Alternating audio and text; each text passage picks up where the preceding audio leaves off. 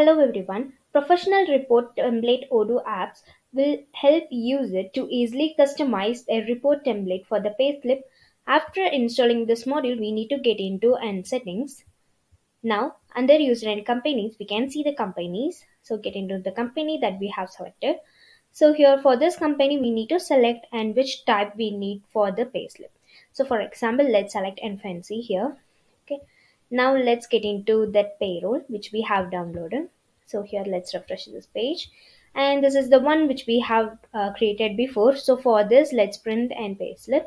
So here you can see the payslip format will be available for Fancy. Now let's change the payroll uh, configuration as classic now.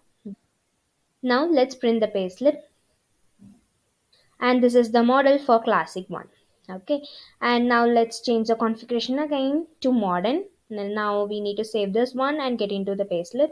So here we need to print the payslip here. And this is the payslip. Okay.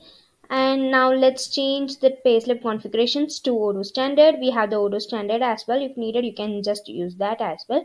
So now let's print the payslip. And you can see that this will be the Odoo default one so in this way, we can make use of this module to easily customize the report templates for the payslip.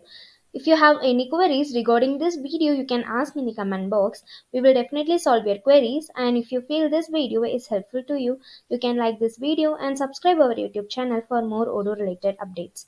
Thanks for watching.